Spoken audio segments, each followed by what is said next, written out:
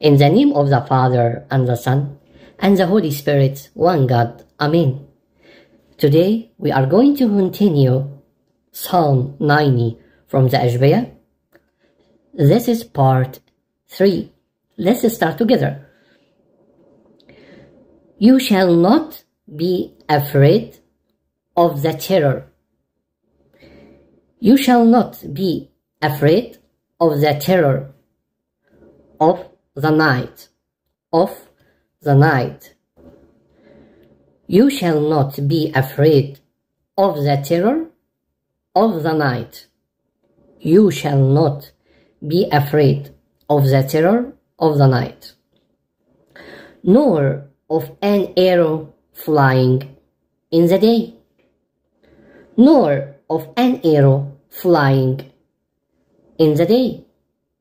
You shall not be afraid of the terror of the night, nor of an arrow flying in the day, nor of a matter walking in darkness, nor of a matter walking in darkness.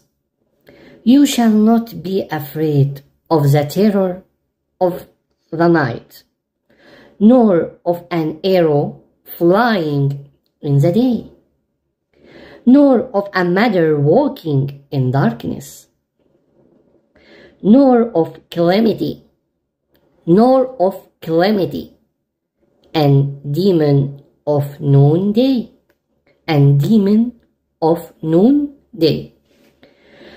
Again, you shall not be afraid of the terror of the night, nor of an arrow flying in the day, nor of a matter walking in darkness, nor of calamity and demon of noonday.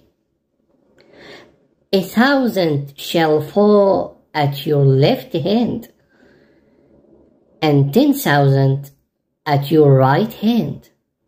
Again, a thousand shall fall at your left hand, and ten thousand at your right hand, but they shall not be able to come near you, but they shall not be able to come near you. I want from you to, to keep watching the video many times to memorize it. Thank you for watching. God bless you all. Bye.